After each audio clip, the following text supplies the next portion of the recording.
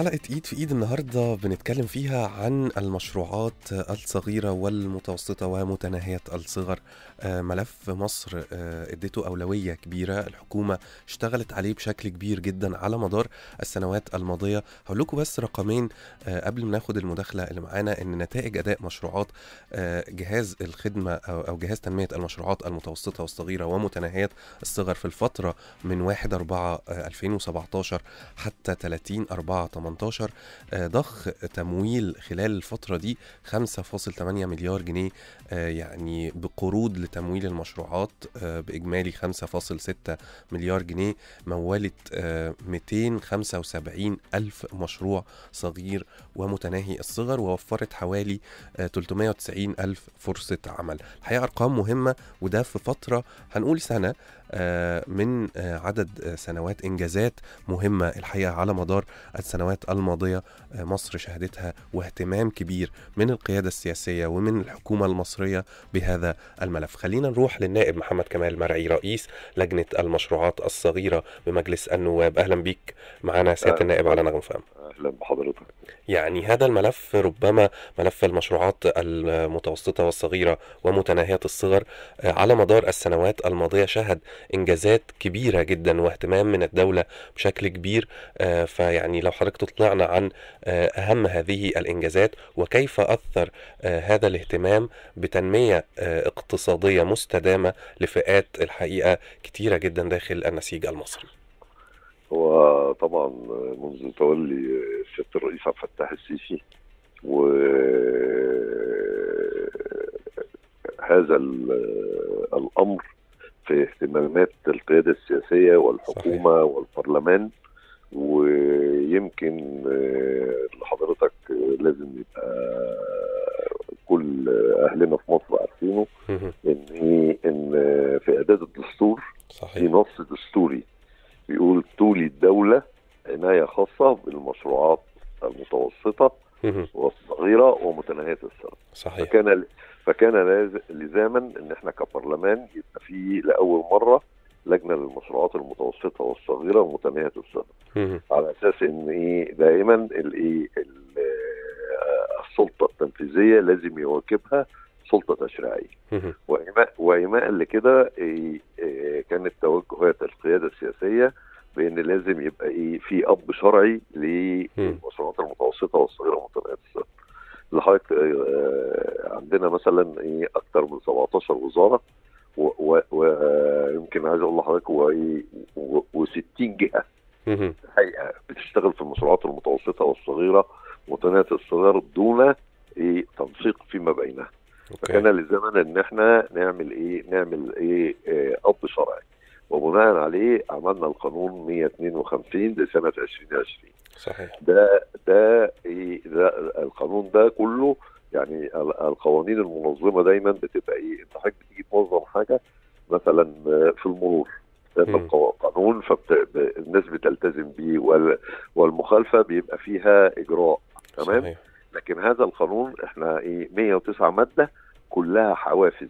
آه، من آه، خفض رسوم. جمركية على الآلات والمعدات. و... كل ما بقول لك حاجة 109 مادة حوافز ل لأصحاب المشروعات المتوسطة والصغيرة ومتناهيه الصغر صحيح يعني إيه ما فيهوش إجراء عقابي واحد. تمام وبالتالي دي أتاحنا هذا الأمر لأن إيه آه، إحنا قدامنا إيه مرحلة مهمة جدا اللي هي توطين الصناعة. فيبقى إيه أي صناعة النهارده عشان تقوم ويبقى عندنا توطين صناعة فتبقى لازم إيه دايما العمود الفقري أو قاطرة الاقتصاد هي المشروعات المتوسطة والصغيرة ومتناهيه الصغر صحيح. فبالتالي كان لازم يبقى فيه دعم كثير جدا وقوي بدليل انت شفت حضرتك المبادرات اللي اطلقها سيادة الرئيس في. البنك المركزي في جهاز تنمية المشروعات يمكن غيرنا الرؤية تماما بحيث إن إحنا إيه آه، زي ما حضرتك كنت بتقول في بداية الحديث. إن جهاز تنمية المشروعات دلوقتي آه، المنح وفر أكثر من 390 ألف فرصة عمل مستهدفنا إن إحنا إيه الدولة المصرية خلال الخمس سنوات إن إحنا إيه كل سنة لازم نوفر مليون فرصة عمل. فيبقى لازم إن إحنا نتوسع وجات القيادة السياسية من خلال المجمعات الصناعية من خلال التيسيرات اللي على لاصحاب المشروعات مم. ويمكن كمان اهتمامنا الشديد دلوقتي أكثر بالمشروعات اللي إيه اللي بتعمل قيمة مضافة للاقتصاد المصري. ماشي وديت اللي إحنا شغالين فيها بشدة الأمر الثالث إن إحنا إيه مفترض النهارده إن إحنا نتوجه إيه إيه كبرلمان وأنا عضو أنا أمين المشروعات آه، المركزي في أمانة حزب مستقبل وطن مم. فإحنا بنعمل إيه؟ مفترض إن إحنا النهارده يبقى عندنا رؤية واضحة.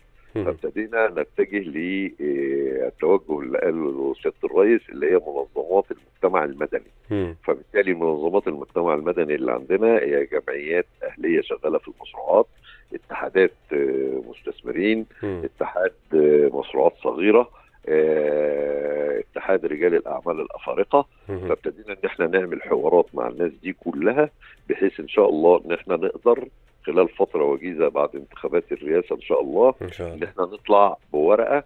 موحدة لإزالة العثرات في. طريق إيه آه، هذه المشروعات حتى يمكن إن إحنا فعلا نمشي في موضوع توطين الصناعة بالإضافة إن إحنا آه، عندنا رؤية إن إحنا نعمل إيه في المناطق الصناعية كلها.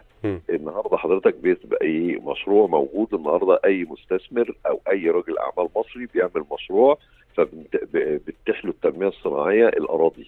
مش كده؟ صحيح فهو مفترض إن هو لما يجي ياخد أرض علشان يبني مصنع جديد أو يتوسع مم. الزمنا ألزمنا هيئة التنمية الصناعية وهيئة الاستثمار بإن هي تقدم لنا إيه؟